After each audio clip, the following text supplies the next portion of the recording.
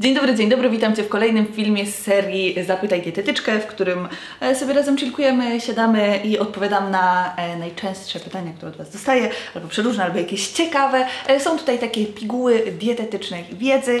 Jeśli Ci się te filmy podobają, możesz dać łapkę w górę, podsuwać komuś znajomemu i co? Jeśli się jeszcze nie znamy, to cześć, jestem Irena, jestem magistrą dietetyki i na tym kanale uczymy się jakieś zdrowo, ale w taki prosty, luźny, niewydziwiany sposób. No i co, nie przedłużajmy, tylko lećmy do pytań.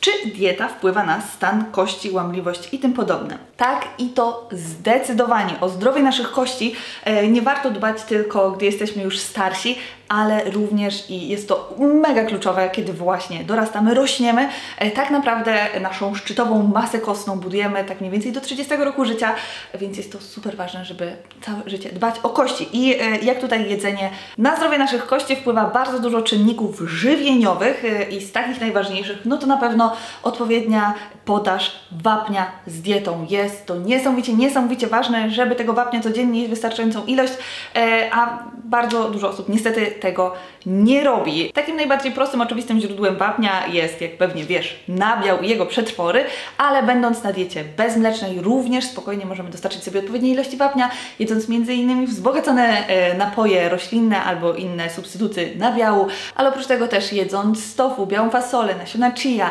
e, jarmuż, ogólnie o wapniu, o tym jak dostarczyć sobie jego odpowiedniej ilości jest cały film, tutaj Cię do niego odsyłam. Oprócz wapnia bardzo, bardzo istotna jest też również odpowiednia podaż witaminy D.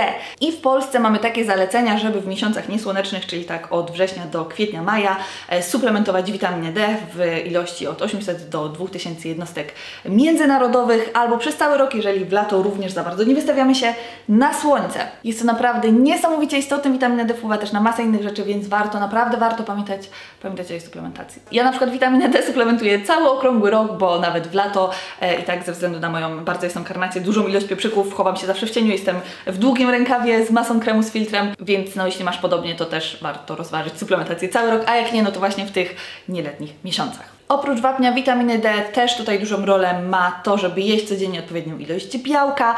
E, też na stan kości mogą tutaj negatywnie wpływać na przykład używki, takie jak alkohol czy nikotyna. Jest jeszcze jeden niesamowicie ważny czynnik e, związany ze zdrowiem kości, nie związany z żywieniem, ale warto również o nim wspomnieć, bo jest naprawdę super istotny.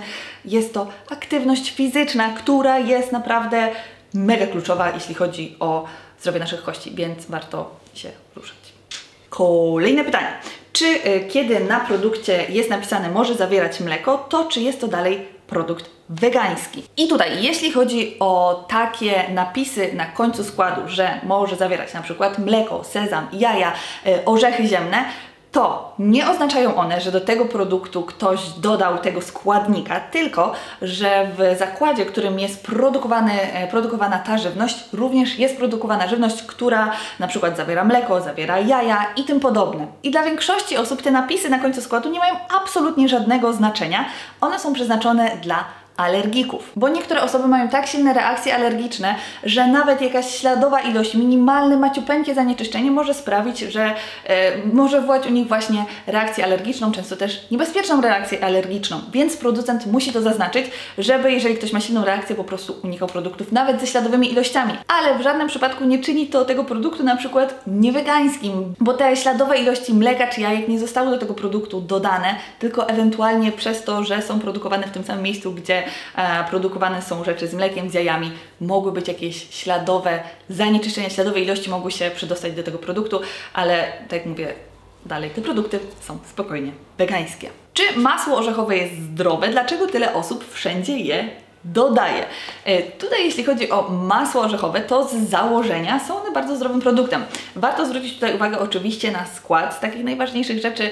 Ja polecam kupować takie masło orzechowe, które mają tak powyżej 95% orzechów, najlepiej takie stuprocentowe, ale to też nie jest y, moim zdaniem konieczne. Warto zwracać też uwagę na to, żeby masło orzechowe nie miały częściowo utwardzanych y, tłuszczy, olei, bo to może oznaczać, że w ich składzie są tłuszcze trans, które nie są dla nas zdrowe. Dodatkowo też warto zwrócić uwagę na to, żeby no miał po prostu jak najmniej cukru i soli, bo nie potrzebujemy ich w maśle orzechowym, ale jak dla mnie też nie ma co w tym wszystkim być takim jakimś super dokładnym i być tym tylko i wyłącznie masło orzechowe 100%, bo jeżeli w maśle orzechowym mamy jakąś maciupeńką e, ilość cukru czy soli, która sprawia, że bardziej nam ono smakuje, to no nie ma to aż tak dużego znaczenia. Ale ogólnie ogólnie jeśli chodzi o masło orzechowe, to są to po prostu zmielone orzechy, więc jak najbardziej tak samo tak jak orzechy, tak samo masło orzechowe również są bardzo zdrowe. Takie masło orzechowe, tak samo tak jak orzechy, są dobrym źródłem tłuszczy, dobrym źródłem białka. Masło orzechowe naprawdę zawiera go całkiem sporo. No i tak samo tak jak orzechy, masło orzechowe mogą być dobrym źródłem witaminy E, witamin z grupy B, e, magnezu, żelaza, cynku, e, no i też mają sporo błonnika, także jak najbardziej są zdrowym produktem, tylko tak jak mówiłam, szczególnie zwracajmy uwagę na to, żeby po prostu tych orzechów w maśle orzechowym było jak najwięcej, żeby nie było utwardzanych tłuszczy, no i też za dużo soli i cukru. A dlaczego wszyscy je do wszystkiego dodają? Bo masło orzechowe jest przepyszne. I taką zasadę na tym kanale wyznajemy. Mam nadzieję, że wszyscy się zgadzamy. Jeśli nie, można napisać w komentarzu, uzasadnić, możemy przemyśleć, ale no, no masło orzechowe no, są po prostu przepyszne. Chcę schudnąć, liczę kalorie, ale wciąż chodzę głodna. Czy to normalne? Tutaj taka sytuacja może mieć kilka przyczyn. Możesz na przykład mieć za duży deficyt kaloryczny. Na ogół poleca się, żeby wynosił on tak średnio e, od 200 do 1000 kalorii poniżej swojego całkowitego zapotrzebowania energetycznego. Jeśli cały czas czujesz się głodna, to jest taka szansa, że może założyłaś po prostu za duży deficyt na sam początek. Może warto zacząć od mniejszego i później jak coś go troszkę zwiększać. Kolejną rzeczą, o którą tutaj warto zadbać jest komponowanie sycących posiłków. E, jak to robić? Przede wszystkim dbać o to, żeby w posiłku było dużo warzyw i owoców. One mają e, dużą objętość, a nie dużo kalorii, więc sprawiają, że jesteśmy bardziej syte czy syci. Dodatkowo dodatkowo dbać o to, żeby w posiłkach była e, wystarczająca ilość białka. Białko sprawia, że czujemy się na dłużej syci. Dlatego warto dbać o to, żeby szczególnie w tych e, głównych posiłkach tego białka było sporo. E, dodatkowo też warto dbać o odpowiednią ilość błonnika w diecie, który również sprawia, że czujemy się na dłużej syci, czyli można zamienić na przykład jasne pieczywo na ciemne, tak samo z makaronem, jeść kaszę, strączki, orzechy. O komponowaniu sycących posiłków też tak w praktyce praktyce więcej opowiadałam tutaj, więc y, tam zapraszam. Kolejną istotną rzeczą jest czynnik zadowolenia po posiłku, czyli to, żeby to jedzenie nam rzeczywiście smakowało, sprawiało satysfakcję, e, bo najprawdopodobniej znasz takie uczucie, że po niektórych posiłkach jeszcze masz takie, a coś bym zjadła, coś bym dojadła, że one nie były dla nas ani satysfakcjonujące, to było takie mega jałowe i w sumie po takim jałowym posiłku często chce nam się jeszcze coś zjeść, bo po prostu, no, to było takie strasznie mech, a jeżeli zjemy coś, co jest też takie smakowo, dopracowane, dobre, fajne, co nam smakuje, e, to czujemy się bardziej zadowoleni, usatysfakcjonowani po posiłku, co też przekłada się później na e, takie poczucie takiego najedzenia bardziej pod kątem psychicznym. E, więcej o tym też było tutaj w filmie o zasadzie 80-20. Kolejne dwa pytania połączone w jedno. Czy warto jeść mrożonki, czy mrożone owoce warzywa z marketu są ok. Tak, jak najbardziej są ok.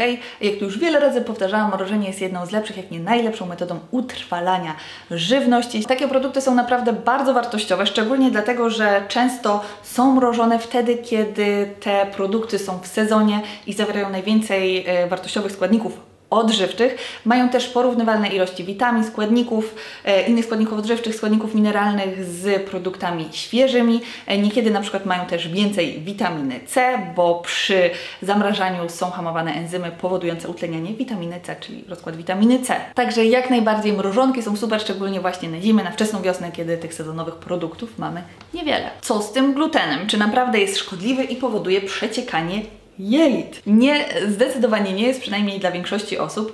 E, tutaj wyjątkiem będą osoby chorujące na celiakię. Przy tej chorobie e, gluten rzeczywiście działa toksycznie, niszczy kosunki jelitowe i w przypadku tej choroby konieczna jest e, taka bezwzględna dieta bezglutenowa przez całe życie. Tak samo z glutenu na pewno muszą zrezygnować osoby, które mają po prostu alergię na gluten albo nieceliakalną nadwrażliwość na gluten, ale tutaj bardzo, bardzo, bardzo ważna rzecz. Tych wszystkich schorzeń nie diagnozujemy sobie sami, e, tylko diagnozujemy to z lekarzem. Jest na rynku bardzo dużo takich testów do robienia sobie samemu, na przykład na nietolerancję na różne składniki pokarmowe e, i to nie są dobre metody diagnostyczne. Te metody są takim trochę wróżeniem z fusów i naprawdę nie ma co marnować na to swoich pieniędzy, a później marnować lat życia na niepotrzebne, restrykcyjne diety, jak na przykład to było u mnie, e, bo ja właśnie kiedyś przez taką złą samodiagnozę e, myślałam, że mam nietolerancję na innymi gluten i przez dwa lata byłam niepotrzebnie na diecie bezglutenowej. Także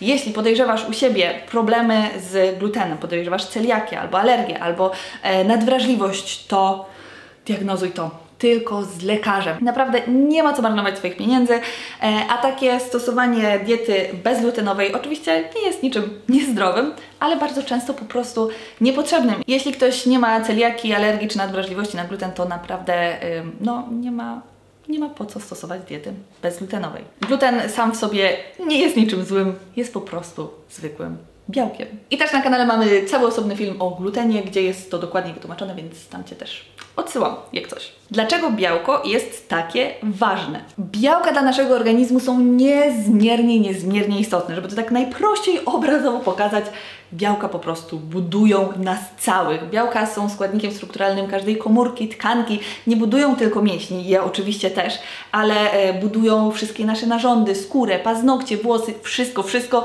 Jesteśmy po prostu zbudowani z białek. I tym samym białka są niezbędne do wzrostu, do produkcji nowych tkanek, ale też do regeneracji tych istniejących, co cały czas się w naszym organizmie dzieje. Białka regulują też wiele procesów metabolicznych, wchodzą w skład hormonów, enzymów, ale e, białka białkami również są ciała odpornościowe, więc y, białka są niezbędne do prawidłowego działania naszego układu odpornościowego. Białka są naprawdę, no, kluczowe. Bez nich nie byłoby nas, więc y, warto dbać o to, żeby, żeby jeść ich odpowiednią ilość również. Mam wrażenie, że niezbyt dużo jem, a wciąż tyję. E, na ten temat nagrałam cały osobny film, więc też tam e, do niego odsyłam, żeby tutaj powtarzać się dla tych, którzy oglądali. E, panuje przekonanie, że woda gazowana jest gorsza niż niegazowana. Czy to prawda? Otóż nie, nie jest to prawda. Obie wody są jak najbardziej ok. Wyjątkiem może być sytuacja, kiedy ktoś ma bardzo wrażliwy układ pokarmowy żołądek i woda gazowana e, po wodzie gazowanej czuje się nie najlepiej. A jeśli chodzi o wodę, to ja jestem e, team kraniczanka, czyli woda z kranu, bo w Polsce jakość wody z kranu jest bardzo, bardzo dobra,